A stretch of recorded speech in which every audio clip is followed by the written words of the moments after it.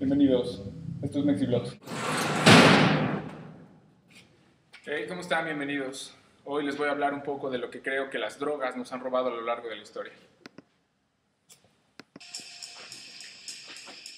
James Douglas Morrison, Jim, mítico líder de la famosa banda The Doors, escritor, poeta, cantante. Fue encontrado muerto a los 27 años de edad en una bañera en París, Francia, por su amada Pamela. Se dice que murió por un paro cardíaco agravado por ingerir demasiado alcohol. El gran virtuoso de la guitarra James Marshall Hendrix es encontrado muerto un 18 de septiembre de 1970 en su apartamento en el Hotel Samarkand, Londres, Inglaterra. Tras haber tenido una tarde de fiesta, mezcló pastillas para dormir con alcohol. Su propio vómito lo asfixió.